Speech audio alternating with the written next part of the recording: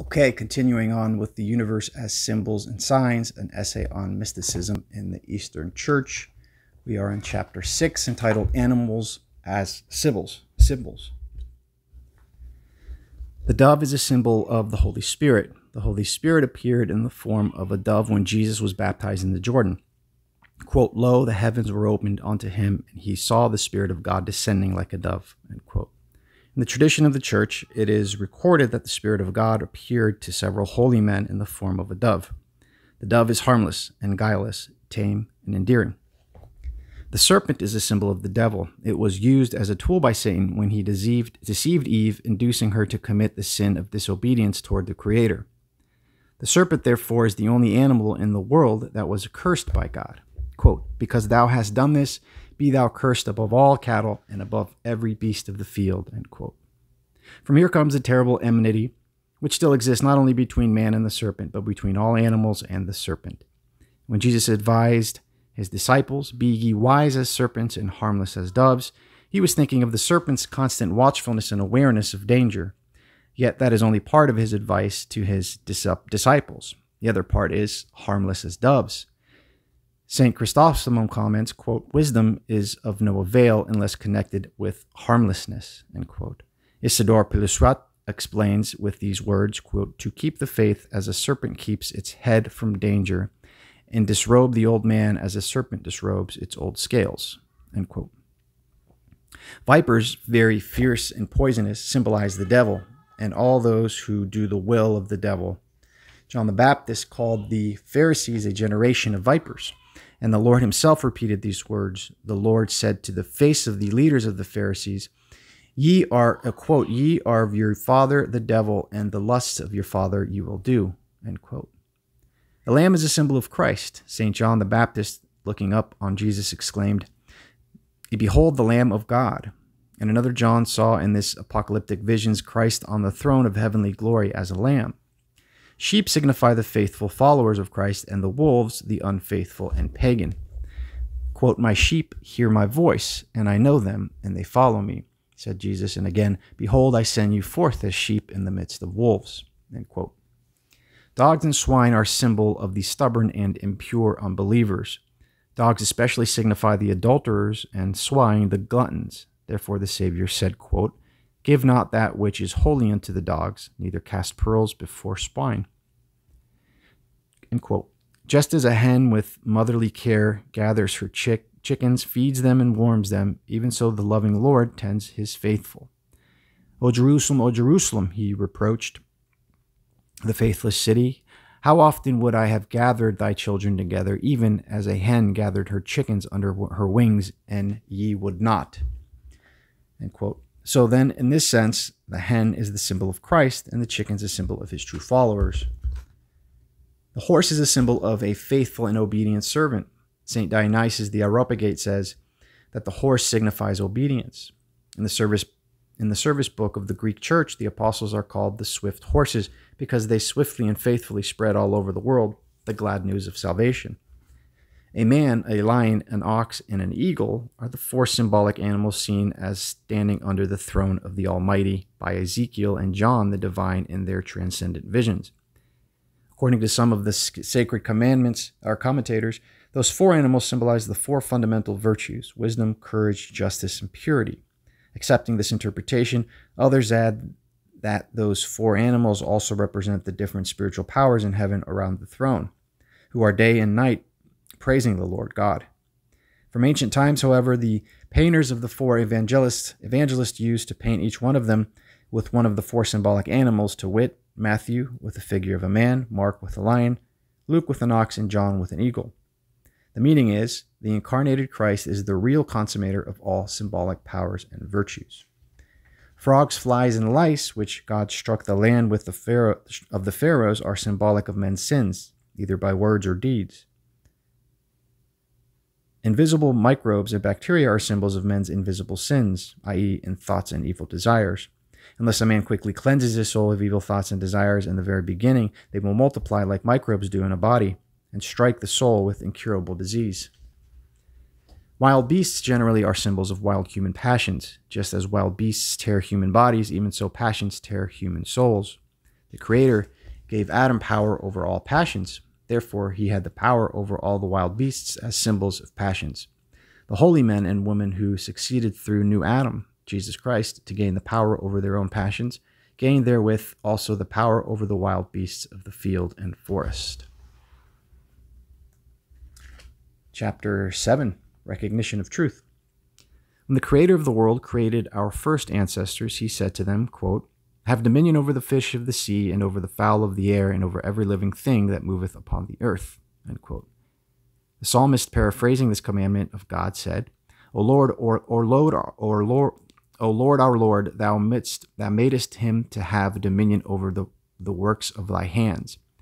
Thou hast put all things under his feet, all sheep and oxen, yea, and the beasts of the field, the fowl of the air, and the fish of the sea, and whatsoever passeth through the paths of the seas.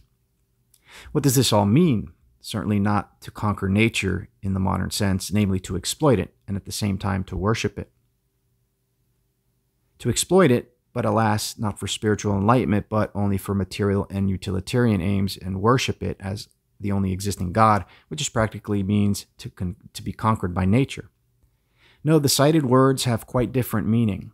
Essentially, they mean, O man, have dominion over these, over all these symbols, and allow not them to have dominion over thee. Or let, O man, all things be to thee as a as a as a red book of pictures, and thou ascend with thy spirit to the realm of spiritual realities, represented symbolically in the pictorial book of nature. All is under the feet of the divine spirit, but thou alone art at the feet of thy Creator. God emphatically forbade man to make gods not only of men's work, but of his own too. There was and there is no civilization so great as this vast and starry universe, the civilization of God. Yet the maker of the universe feels offended when man when men adore his works, and much more so when they when they, in their vainglory, adore their own little break, breakable toys, the works of their hands. When we look at the sun and the stars, what is need, indeed man, or or the Son of Man? Yet man is dearer to God than all this world on the condition that he worships the one true God and that he knows the high value and dignity of his own soul. Therefore, every literal reading of nature leads finally to idolatry. And all idolatry separates man from spiritual realities, from God in the first place. God is spirit, and they, they that worship him must worship him in spirit and in truth. Was from John chapter 4. To an idol worshiper, as well as to a materialist philosopher, nature may be likened unto Chinese letters, what an impression what impression what an impression would Chinese writings make on a foreigner ignorant of reading Chinese. The same as that made by embroiderers or ornament ornament ornamatics or of a mysterious scrabblings without sense and meaning not so with the learned Chinese he would not fasten his attention upon the letters but he would seek the sense and the meaning of what was written study the message veiled in the composition of those letters. So the same letters may be for one a pillar of smoke and for the other a pillar of light. This is the true picture of idol worshippers, of both the scientific and the unscientific on one side and the enlightened Christians on the other. The first the first cleave with their senses and spirits to the symbols of nature, and the other others see with their senses the symbols but with their spirit they read in the spirit, i.e., the spiritual message in the symbols. Chapter 8 Places, things, tools, and constructions as symbols. The threshing floor, fan, and granary also have their symbolic meaning. The threshing floor is a symbol of the world. The fan is a symbol of God's judgment. The granary is a symbol of the kingdom of heaven. The righteous will be gathered into heaven as pure wheat is gathered into the granary, and sinners, like the chaff separated from the wheat, will be thrown into the unquenchable fire. A city on the hill is a symbol of those same men who are called salt and light. Verily, as a city set upon a mount cannot be hidden, so the true followers of Christ cannot be hidden from the view either of angels or of men. Candles, quote, neither do men light a candle and put it under a bushel, but on a candlestick, and it giveth light unto all that are in the house. The candle is a symbol of a man enlightened by God's Spirit. It would be considered foolishness if anybody would light this candle in darkness and put it under a bushel. Yet such foolishness has been often done to men and of God, whose light the envious and the stupid tried to hide, covering up with covering them with with slandering. But there is no foolishness in God. Sooner or later, God puts his living candles, rejected by the world, on a high candlestick, higher than time and space, and there they give light to all those who are in God's house. Think of the apostles, saints, and martyrs. A, a closest a, a closet is an innermost room in the house in which a treasure is often hidden. It is the symbol of the heart of man. Speaking of prayer, the Lord said, quote, When thou prayest, enter into thy closet, and when thou hast shut thy door, pray to the Father which is in secret, and thy Father which seeth in secret shall reward thee openly. There in secret you should pray to him who only is able to help you, and not as the hypocrites who pray in the streets before the eyes of onlookers, which is offensive to the Almighty.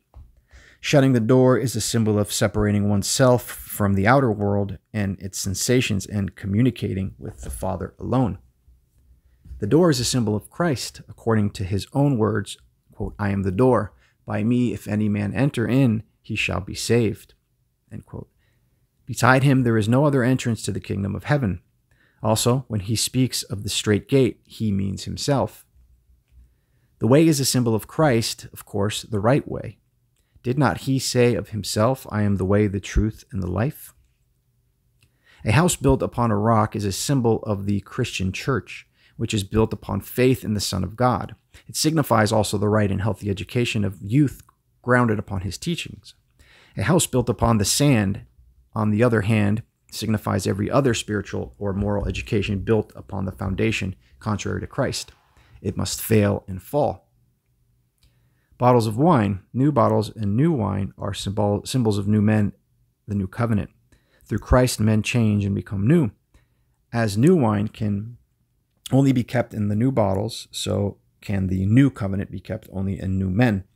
Like a strong light, the doctrine of the new covenant may be too strong and may blind a set of old and feeble eyes. So, too strong a vintage may be altogether too strong of a wine for an old and feeble soul. New piece of cloth and an old garment.